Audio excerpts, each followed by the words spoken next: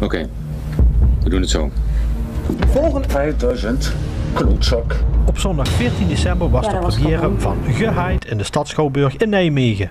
Geheid is een thriller vol spanning, verraad en intriges, waar 60 acteurs op vrijwillige basis aan hebben meegewerkt. En één deel van de film is opgenomen in Roermond. Ik heb trouwens eh, zondag een afspraak met in Zandvoort. Dermis Aiden uit Roermond is één van de acteurs. Ik speel eh, de rol van Klaas. Dat is een van de grootste maffiabazen in, eh, in de film. Die alle opdrachten uit- geeft en eh, ook laat uitvoeren. Dus echt een keiharde eh, zakenman van de onderwereld kan ik zeggen.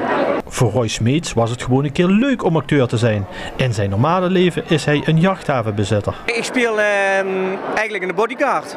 Die eigenlijk ervoor moet zorgen dat eh, een van de hoofdrolspelers met een boot eh aankomt en door zijn rol verder gaat spelen.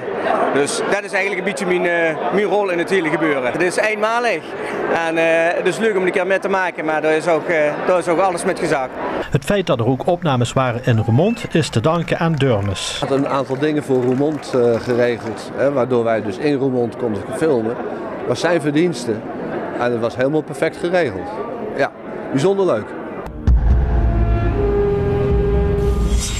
De film kent twee vrouwelijke hoofdrollen. Ik speel Linda en Linda is getrouwd met Chris, maar ze is niet zo gelukkig in haar huwelijk. En ze gaat eigenlijk liever met haar vriendinnen leuke dingen doen en zelfs wel iets meer dan leuke dingen doen, als je begrijpt wat ik bedoel. Eh, dus er is ook een soort driehoeksverhouding tussen mij en de andere hoofdrolspeelster en de hoofdrolspeler.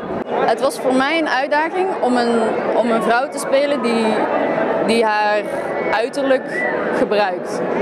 En daar ben ik niet van mezelf, ah, ik ben daar verlegener in.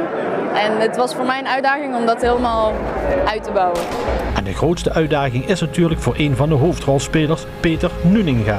Chris is eigenlijk een, eh, een eh, zakenman.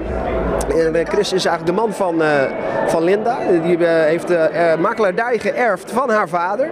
En doordat Chris met veel geld in aanraking komt, is hij ook eigenlijk ehm, ehm, een hele snelle jongen. Hij houdt van auto's, van veel vrouwen en komt daardoor ook in eh, aanraking met het criminele circuit. Ja, en dat maakt het gewoon een bloedstollende leuke thriller.